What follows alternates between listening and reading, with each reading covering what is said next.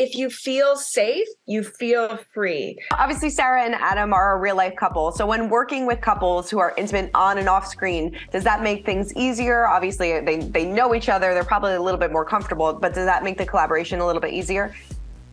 Yeah, so I mean again, like if you feel safe, you feel free. Mm-hmm. And that's the goal is to um make sure there's no surprises and and have everyone very clear on what's about to happen so that they can feel free in their performance.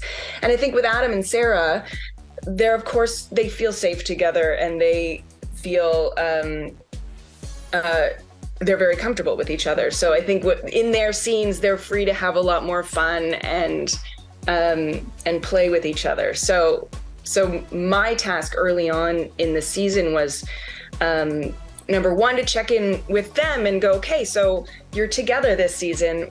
How can i help you feel safe and how can i help you protect your relationship as your characters you know go off and have other relationships?